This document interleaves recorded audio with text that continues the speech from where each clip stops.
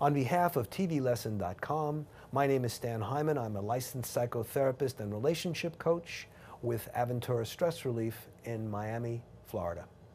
Let's talk today about avoiding a bad relationship. A very important subject, uh, avoiding a bad relationship, because this is one of those things that everybody wants to do. Everybody wants to avoid a bad relationship. So how do you do this?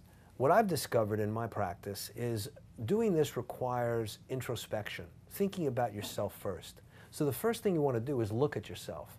And I'm going to give you seven ways of looking at yourself and thinking about yourself that's going to be helpful. Way number one, Am I feeling needy? Do you feel as though without a person in your life you would become mentally and physically or emotionally impoverished? You can't live by yourself, but you need somebody always in your life? That's point number one. Point number two, am I always trying to, are you always trying to make the other person happy at any cost, at the cost of your own relationship, of your own happiness, that is? This is an important thing because getting in a bad relationship would mean that you're always trying to make somebody else happy. Number three, are you trying to change the other person? This is very important because if you don't like the person as they are, don't expect that you'll be able to change them. Number four, are you feeling needed, controlled, or loved?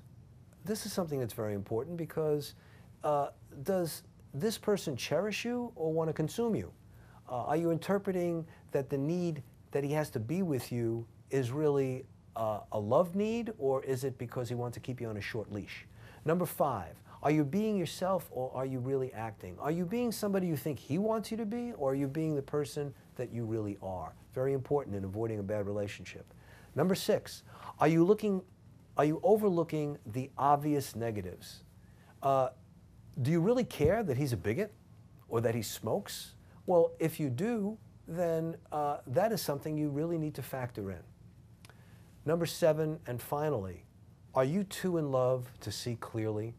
You know, when you fall in love with somebody, your brain changes. We know this uh, in terms of brain chemistry. So make sure that uh, this issue of love being blind does not exist. Uh, it is true that love is blind, but don't be, be blind in choosing the relationship. On behalf of TVLesson.com, I'm Stan Hyman, and thank you for watching.